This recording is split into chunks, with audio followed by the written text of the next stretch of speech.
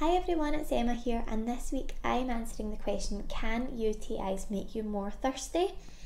So, this is something that we've been asked recently quite a few times on the A.Vogel helpline, where you're all welcome to come and ask us health and product related questions. So, I just thought I would do a little video on this, and as always, try and explain some of the underlying mechanisms and why this might be happening, and of course, what else uh, we should be aware of.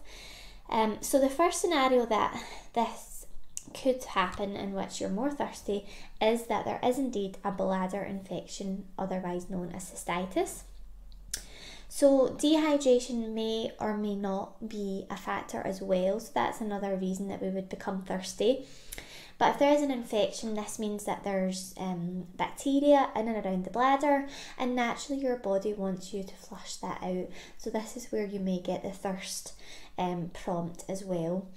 Um, we know how beneficial drinking enough water and being properly hydrated is, especially in light of UTIs.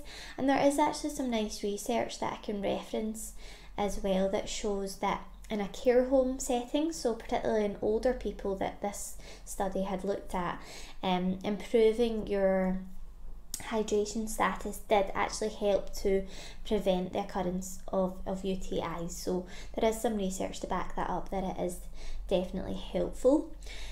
On that topic of older adults, actually older individuals, um, it's quite interested in that um, the, the thirst prompt does change as we get older. Um, and many people, first of all, many people are dehydrated um, and not necessarily getting that thirst prompt. Um, so that's why it's really important to keep up drinking your regular water intake, even when you don't necessarily feel particularly thirsty. And when feel thirsty, that might be me- meaning that we're, we're particularly dehydrated.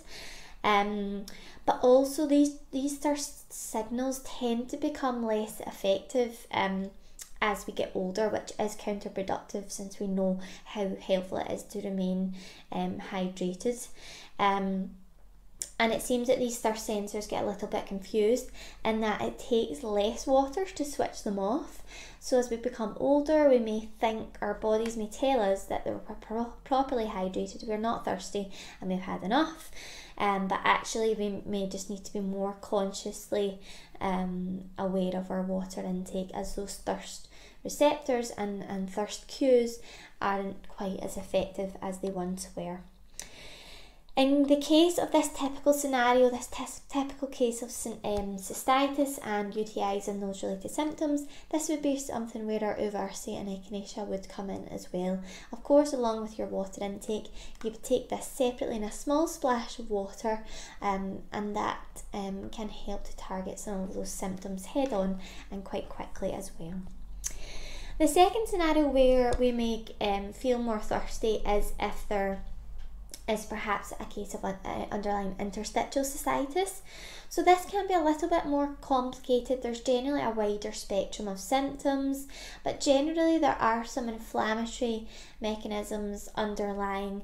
Constipation is very often underlying and intertwined in the symptoms as well. So again, this often has links with hydration status and or that inflammation. Again, inflammation in the gut, the urinary tract, your body naturally wants to work hard to try and flush that out, which could prompt more thirst. But of course, if you're dehydrated as part of the constipation, then that's an, an extra reason that your body would be wanting to encourage more water intake as well. The next one up area I want to flag is the possibility of a kidney infection. So, as we know, these urinary tract infections can occur at any stage of the urinary tract. The kidneys are higher up, um, so that bacteria has to go a bit further to reach the kidneys. Generally, kidney infections are considered much more serious and they would need to be treated under the guidance of your doctor. Um, so, with a more severe infection, there may be more severe, more pronounced symptoms. So, excessive thirst could be a part of that. And um, so, this would just be one to consider, one to, to watch out for. Perhaps if there's any other telltale symptoms such as back pain. Um, but generally, with this this um, symptom of thirst, we would be wanting you to check with your doctor anyway in case it's any of these um, issues. Um, so this is more for your information, but your doctor should always be the one to confirm exactly what the cause is. Just on my last note there, there could also be other things that could be contributing, such as diabetes, for example. This can affect your urine output, your kidneys.